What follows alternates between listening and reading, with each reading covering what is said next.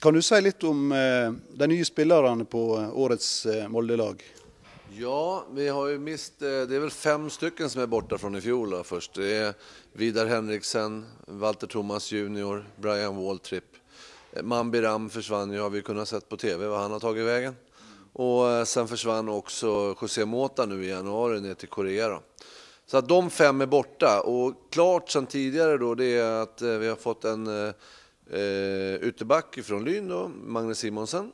Eh, vi har fått en ytterback också från Sverige som heter Emil Johansson. Och sen så har vi fått en forwards nu eh, ganska nyligen här, då, här bara här för några dagar sedan, J.B. Foll som spelade, senast var han i Ryssland, men han har spelat en hel del eh, fotboll i, han är från Senegal men han har spelat i Danmark. Det är de tre nya som vi har klara med just nu då, men eh, vi hoppas väl fortfarande på att det ska bli eh, någon eller ett par till. Mm. Hvilke forventninger har du till 2010-säsongen eh, för MFK? Alltså det är tidigt då. Eh, vi kan väl säga att fjolårssäsongen vart väl kanske bättre än, eh, ja det vart i alla fall definitivt bättre än alla experter hade tippat att det skulle bli. Vi tyckte väl att, vi hade väl hoppats naturligtvis på att hänga med bland de här fyra, fem, sex första lagen. Och det gick ju väldigt bra då. Nu hoppas vi nog på det igen. Vi tycker inte att vi har Ja, vi tror inte att vi ska bli så mycket sämre i alla fall.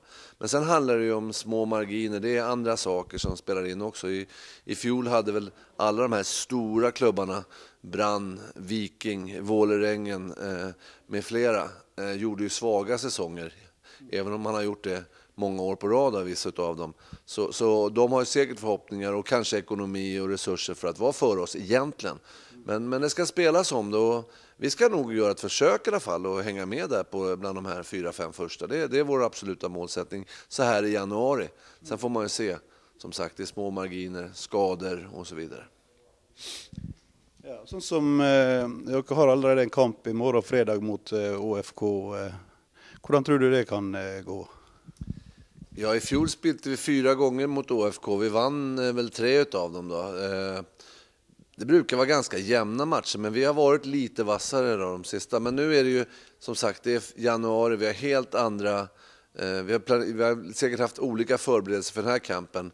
Eh, jag vet inte om Ålesund har spilt någon kamp innan, men de har varit på gräs de och hållit på.